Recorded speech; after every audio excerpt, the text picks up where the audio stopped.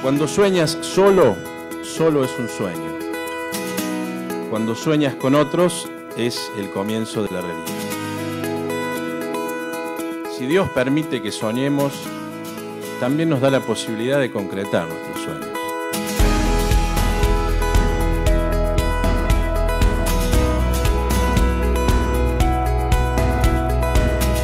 Ser para otros, eso es lo que nos define, ¿no? Ser para los demás.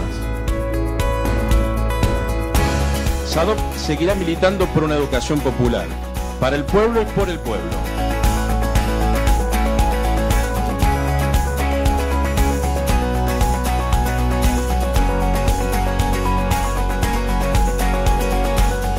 SADOP no estuvo ni va a estar nunca a favor de la educación como una mercancía.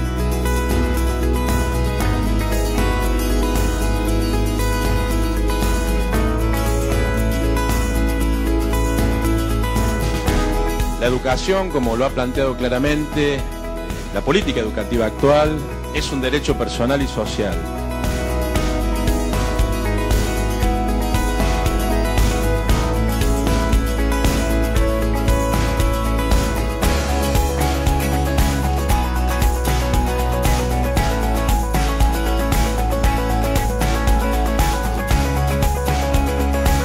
un SADOP que sea, modestamente, el mejor hogar posible para todos los docentes privados.